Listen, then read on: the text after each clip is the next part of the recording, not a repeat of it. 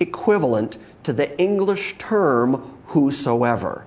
That is so important, I'm going to say it again. The New Testament was written in Greek, and there is no Greek equivalent to the English term whosoever. So when he said you need to understand the whosoevers of the Bible, he is arguing for an English translation of three Greek words. The three little Greek words that make up whosoever believeth is pas ho pisteuon. I say that right? Sounds great. Okay.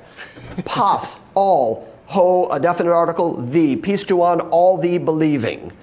Now, far from being a flung open door to anybody who wants to believe, the Bible says all the believing, which is a particular group, a particular group of people who have a particular designation. These are the people who are believing. It doesn't say whosoever believes will be saved or whosoever believes will have eternal life. It states emphatically all the believing will have eternal life. And that's a very, very important designation because Brady is going to build so much of his theology on the whosoevers, except that the whosoevers are simply designations of all the, all the people who have some particular characteristic. So there's problem number one. He's appealing and saying you need to understand the whosoevers. There is no Greek equivalent to whosoever anywhere in the New Testament. Isn't that right, Jeff? That is correct. Good, because you're my Greek scholar. But I want to make sure that people understand that about the whosoever. I've got something here from James White, who's a great apologetics guy whom we quote often, who is a Greek scholar in his own right and uh, has dealt with this many times. And he, uh, I don't know if folks there have heard of him, but he takes on like the leaders in the Mormon Church and the Jehovah's Witness Church and the Roman Catholic Church and King James only churches, and this is what he does. When it comes to Reformed theology, this has come up, and like as you said, that pas ho is uh, all the believing ones, and it just so happens, especially in John three sixteen, which everyone knows, you know, whosoever believes in him shall not perish but have eternal life, so that that's called a hina clause. Now the verb believes there is in the subjunctive, which is properly not not in this case, but is a you know might something might happen. However, that Greek rule, and you can go to any Greek rule textbook, it does not apply in a hina clause, and that is a so that clause. It is a purpose clause for the exact purpose of. Like me going down to Katrina. I've got a big truck of supplies, I've got all the folks together, and we've got all this food, and we're going down to Katrina, and I, I show up to the big crowd, and I open up the back of the door, and I say, You know, I have brought food that you might have something to eat.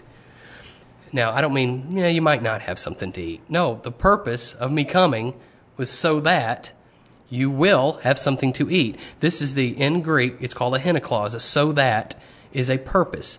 So God so loved the world in order that all the ones believing in him will not perish.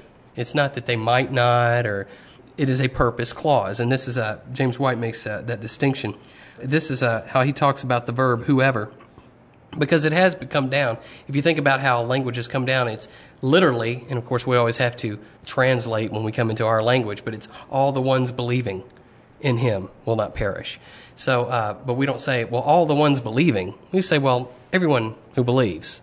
Or whoever believes. Whoever believes. Yeah. And then in King James' time, it was whosoever believes whosoever in King James did not have the connotation of, well, just whoever might come along. That's the meaning it has now. And people are like, well, that's what the Bible says. I'm like, well, if you want to go back to King James English, I could use the two words nice and hussy. If today I was to go to my wife and say, boy, you're one nice hussy, well, she would slap me for calling her a hussy.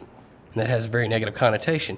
King James time, if I would have walked up to my wife and said, well, you're a nice hussy, she would have slapped me for calling her nice. Because hussy meant housewife, and nice meant, well, you're kind of simple minded and not very smart.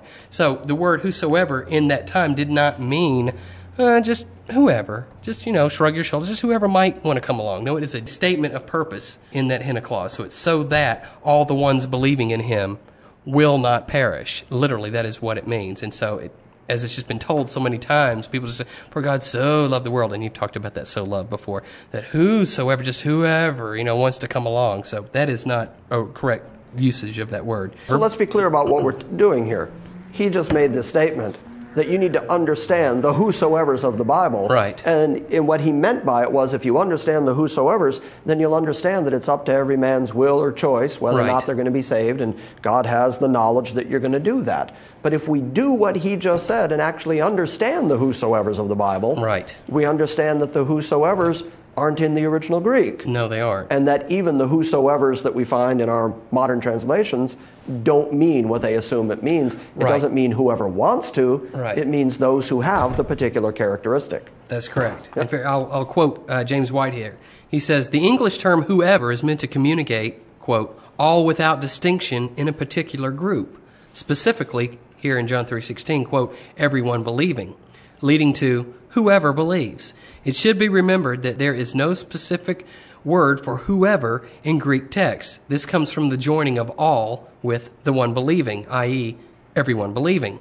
The point is that all the ones believing have eternal life. This is a definite statement. There is no such thing as a believing person who will not receive the promised benefit, hence, whosoever. This is a common form in John's writing. For example, in his first epistle, he uses it often. For a few examples, here he quotes from 1 John 2, verse 29. If you know that he is righteous, you know that everyone also who practices righteousness is born of him. And this is the exact whoever, or you could say that whoever practices righteousness is born of him. It's the exact same phrase, paso puon. He said one could translate the above phrase as whoever or whosoever practices righteousness. Likewise, in 1 John 4 7, John says, Beloved, let us love one another, for love is from God, and everyone who loves is born of God and knows God. And this again is paso akapaon. In the same way, all the ones loving. Likewise, uh, one could use whoever here as in whoever loves is born of God. And a final example here's in 1 John 5 1. Whoever believes that Jesus is the Christ is born of God. And whoever loves the Father loves the child born of him. Here, because the phrase begins the sentence, it is normally rendered whoever, since everyone does not flow as well. So the passage could be rendered everyone who is believing. And that's the point, is that if we follow what Brady said and understand the whosoever's of the Bible, Right. what we discover is that whosoever always refers to a limited specific group. Right. It does not mean what he assumes. Just shrug is- your shoulders. Yeah, anyone Eh, who wants whoever. to can. Right. Or whoever chooses to believe can.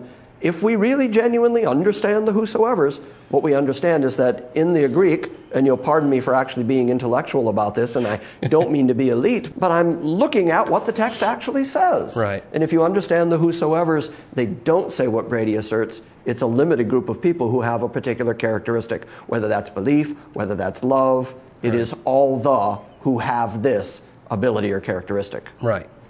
There you go. Now, the second thing in that section that he did wrong, and this is the one that just is so common, it drives me crazy and makes me want to bang my head against hard objects. He quoted from Revelation 22 17, and the Spirit and the bride say, Come, and let him that hears say, Come, and let him that is athirst come, and whosoever will, let him take the water of life freely. Now, like we just explained, in the Greek that is, and let all the willing let him take of the water of life freely. And so he assumes that that is an evangelistic verse that can be thrown out to the whole world, and you can say to anybody in the whole world, whoever wants to, come and take the water of life freely. The problem, of course, is context is king. Where have we heard that before? Revelation 22 is the end of the book of Revelation. At the end of the book of Revelation, we've already seen the tribulation period. We've already seen the millennial period. We've already seen the introduction of New Jerusalem, the establishment of the city of New Jerusalem. The pure river of the water of life, clear as crystal, is proceeding out of the throne of God and of the Lamb out into New Jerusalem and to those people who are now eternally saved. And so, yes, of course, among those people, the angel and the bride can say, Come, and whoever wants to, drink of the water of life freely now. The tree of life is also, by the way, next to that river of the water of life, that tree of, the, of life that was in the Garden of Eden. And they are told in Revelation 22 that now they can eat of it freely. So we're clearly talking about what takes place at the end of everything, the consummation of time, the New Jerusalem.